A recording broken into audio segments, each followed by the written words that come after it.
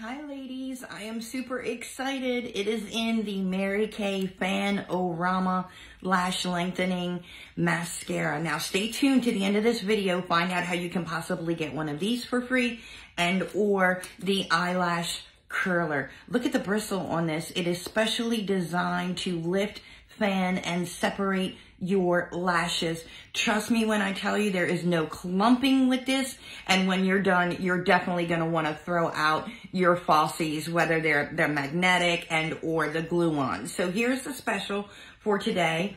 Order one of the oil-free eye makeup removers and the mascara, and you definitely get this eyelash curler for free. How do you get the mascara for free?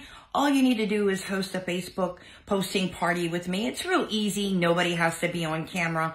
And as my hostess, you will get one of these for free. Now, to get a little something extra, pay attention to the pictures that I'm getting ready to post. If you can guess which eye has the false eyelash on, there'll be a special um, lip gloss for you. Um, ready, set,